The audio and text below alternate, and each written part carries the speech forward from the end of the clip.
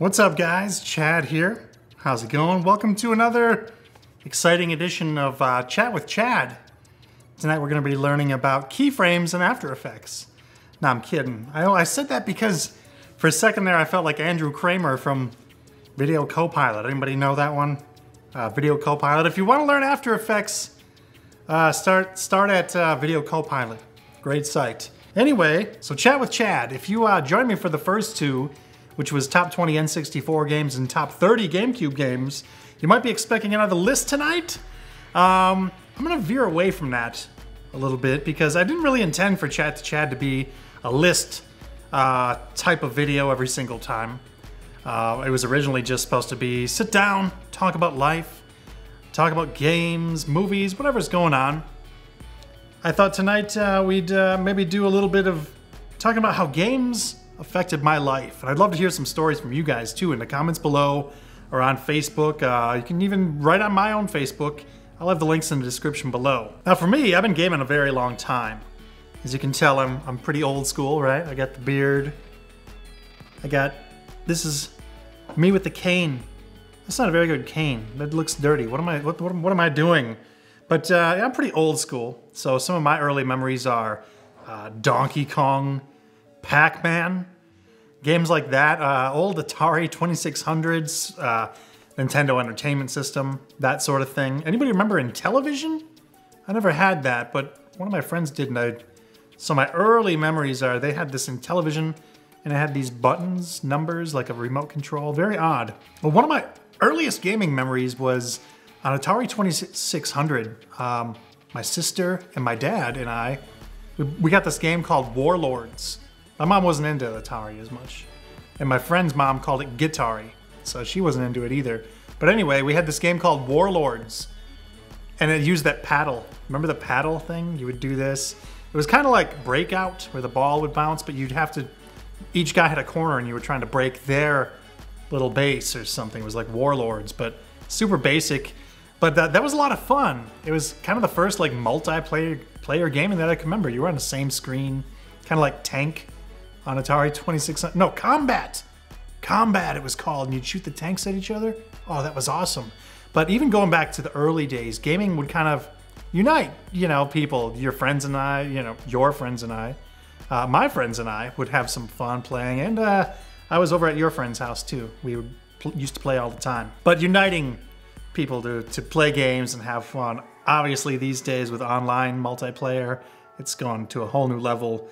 But uh, we'll, we'll talk about that later. I'm starting from when I was younger here. Younger before there was like gaming news. Uh, and if there was gaming news, it was some, some dorky guy who was actually a gamer delivering the news. You didn't have companies hiring hot chicks to read news and wear a geeky t-shirt. Look at this, I'm wearing a Zelda t-shirt. Now there's a whole industry based around games. There's all these Let's Plays. As soon as a trailer comes out, there's like millions of videos of everyone critiquing the trailer and giving their impressions. And uh, it's really come a long way. And I think that's great. Because um, back in the old days, it was you were kind of an outcast if you played games. Uh, it, just, it wasn't cool back then because you weren't you weren't playing Call of Duty. You weren't you weren't shooting realistic military guns. There was nothing cool about it. You weren't shooting you weren't flying realistic planes or driving realistic cars. You were a bear a cute little bear running around in the snow level with little uh, happy music playing. So back then you were kind of a dork and that's kind of what I grew up as. I was very shy, I was pretty dorky. Um, well, everyone in school was worried about, hey, let's go smoke behind the building, let's have a cigarette, because you're not supposed to. Me and my friends were worried about renting the uh, Super Nintendo or Genesis on the weekend uh, from the local game store. You'd rent the whole console did you guys remember that? I don't even know if they do that these days. You'd rent the whole console, bring it home, plug it into your TV, play. One time my friends dropped uh, the Super Nintendo in the snow in Wisconsin on the cement in the snow. They dropped it and uh, we plugged it in, it still worked. That the thing was tough. You probably couldn't drop an Xbox 360 without it shattering into a million pieces. Now, if you dropped a, a PS4 or an Xbox One, you might crack the concrete. Those things are huge. But anyway, back then those consoles were tough. The games were tough. Actually, that's one thing I wanted to mention. The games were super tough in the old days. And I gotta say, you know, you'd rent the game, just say Mega Man 1 or uh, Ghouls and Ghosts, Super Ghosts, Super Ghouls and Ghosts, the Super Ghosts and Goblins. Super tough game. In fact, my friend Eric, I think, is the only guy I know that beat it. Maybe some of the other guys did too, but I, I certainly didn't beat it. It was a hard game. But you would rent these games back then. They'd be tough games. You'd be like, I have to beat this before I gotta return the whole console. Games were shorter in general. I gotta beat this before midnight. I can't go to bed without having beaten this game. And it really taught taught us, I think, some determination. I really learned if, if you're determined to get through, you will. You'll eventually beat that final boss. If you take a little break, if you take a breath, you know, you'd be playing, you'd get more and more agitated.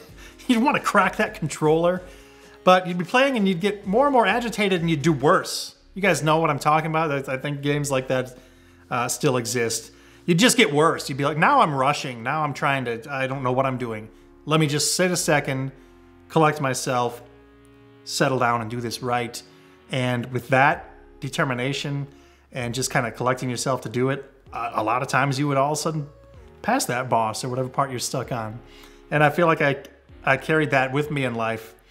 You know, doing doing screen team, doing these videos a lot of times, music videos especially, those sorts of things. It's not easy, you know? And you know, you got no budget, you're trying to do all this stuff, you're thinking big, and you're like, what the heck did we get ourselves into? And then you got to stop and think, collect your thoughts, and go, we're going to do this before we have to return the console. And uh, a lot of times I think back to those old video games and I think if it wasn't for them, I wonder if I'd be as determined. Hard to say. But we did, you know, we did have to deal with kind of being outcasts a little bit. Uh, like I said, back then gaming wasn't cool. I was, I was a pretty, um, I was a pretty awkward kid, and I don't use the word awkward lightly. People toss that around a lot these days to try and get the audience, especially on YouTube. I'm awkward to get the audience to relate to you. No, I was I was awkward. We did Star Wars trivia, video games in the 80s, and I, I would cut my own hair. I'd go to school looking like a complete idiot because I cut my own hair. I was too shy to go to the uh, haircut lady, and I felt stupid. And, uh, you know, the true definition of awkward. I, I'd say in the last few years I lost that a bit Maybe it's because gaming and the sorts of things that I've always been into have become more mainstream. So you can kind of relax in social situations. And if you're wearing a Zelda shirt, all of a sudden you're not the big dork. You're kind of the, hey, look Zelda, huh? Yeah, oh yeah, Zelda. Always loved it. And I think a lot of my friends and I would were pretty close knit. I think because we were kind of that group and uh, we would relate to some of the others, you know, maybe some of the science dorks whatever you want to call them. And uh, so, you know, we just weren't really the popular crowd, I wouldn't say. So I kind of grew up a bit shy. Really feel like when I had my friends, we had that extra close bond. And I think a lot had to do with gaming. As we got older, uh, in our 20s, and you're talking about work and that sort of thing, gaming was always the thing. Uh, every Sunday night, I probably talked about the last two videos a lot, but uh, Sunday nights was kind of game night. Like guys would come over and we'd play Mario Kart, all that stuff. Uh, and even as we got older, the gaming's the gaming was kind of no matter what was going on in life, at least you had the gaming that everybody could sit down and play, just laugh, have some fun, not talk any serious talk. And uh, so that was great. I gotta say, you know, sometimes people don't don't get it or they didn't get it. What do you guys think these days? Some of the younger uh, audience members, if you're watching, do you run into that? Or is gaming just totally mainstream? Is gaming the thing in elementary school these days? I don't know. Uh, back then for us it wasn't. And some people didn't get it, but I always thought, well, you know, people will sit home all night, watch TV, or go surfing all day, uh, knitting sweaters, whatever you're into. I didn't find gaming to be much different. But because it was, gaming's pretty addictive, I gotta say, sometimes it would get in the way of life, you know? And I, I think back a lot of times and uh, I was very into it. But, you know, sometimes I'll feel guilty. Yeah, you'd, you'd you know, call into school, skip school, or calling to work on, you know, Grand Theft Auto's coming out today, or uh, World of Warcraft. I was, you know, the new raid dungeon is out today. I'm calling into work. And that kind of thing. I think back and I think, you know, I probably could have done better. Probably could have done a, done a better job at work. Probably could have uh, studied harder. But maybe everybody has their things. I don't know. That's gaming was mine.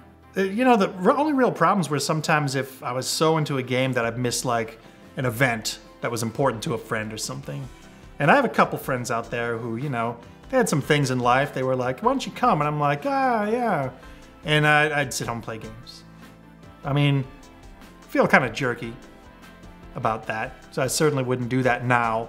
And I guess that's, you know, one thing you got to keep in mind is just to keep the games in check. The games are always going to be there. Make sure that you spend a lot of time with everyone in your life too, because they might not always be there. The games will always be there. So keep that in mind as you go. also, you might even you might even uh, forget to do a chat with Chad a certain week last week because you were too busy playing Pokemon X and Y with your fiance. That's what happened. If you, some of you guys were wondering what happened to chat with Chad, one guy unsubbed. He said, "No chat with Chad this week. You earned my unsub." Angie and I got Pokemon X and Y. We were just very into it, so it's a great game. If you guys, uh, if you're ever into, if you're ever into Pokemon, or if you ever played it or ha- ever have any interest in it, this is the one to get. X and Y kicks butt. So we talked a bit about the early days of gaming. This was all before the internet, when I was very, uh, you know, outcast at school, that sort of thing. But once the internet came along and really started rolling, there were forums. Uh, I'd go to the IGN forums. IGN's still about the biggest site for gaming that there is. But I'm talking back in the GameCube, day, GameCube, maybe late N64 days. This was before they even had uh, avatars. Remember when they introduced avatars? You could put a, oh my gosh, you could put a picture next to your name. That's the coolest thing ever. And it just didn't exist before then. But I've, I got to know a very uh, small group of friends, well, probably 30 people who would post on there on a regular basis. And we all got to know each other's uh, fake names. And I, a lot of them I didn't even know their real name. But we talked like family every night. It was like, we threw parties and we had fake, uh, yeah, fake little parties and all kinds of stuff. Well, eventually IGN created a World of Warcraft guild. Um, I bought the game. I thought, oh, this looks neat. I like the style. I had no clue what I was getting into, and especially the social aspect of it. While I was leveling up, if anyone's played World of Warcraft or any, any MMO, I was leveling up. It was going slow going. I was just kind of playing solo. There was a guild and guild chat. I didn't even really know how to work the chat. I was just trying to fight things. And uh, I was out in Redridge Mountains, if anybody knows what that is, about level 20, and I ran into this guy, and we just started talking. But I didn't even realize really that he was in my guild. So I'm like, oh, this guy's cool. We were we were talking, and uh, it was funny, and eventually got into talking on guild chat and all that. Well, that was 2004, and now it's nine years later. I still talk to these guys. That same guy, especially. Uh, his name's Mike. Uh, Imperium in game. What's up, man? But you know, it's, it's great to to meet people in a game like that and become good friends. You know, we've been talking about shows and all that stuff for years, and it's it's just really cool. And that's what I really love about games, uh, especially now the online aspect. You can connect with a lot of people, feel like you have a little community and friends. Back in the old days, we'd have these 40 man raids, so you'd have to gather up 40 guys to go beat these bosses in the dungeons, and we take a month to beat this dungeon. And but when we finally beat it, Molten Core, we beat that dungeon, and uh, over the voice chat, it was you would have thought we won the World Series. It was like yeah, guys screaming, and it just felt awesome. So it was a real sense of accomplishment for 40 people to all get together almost nightly and and conquer these bosses. it's kind of funny. Now imagine, you know, I guess that's what movie making is like.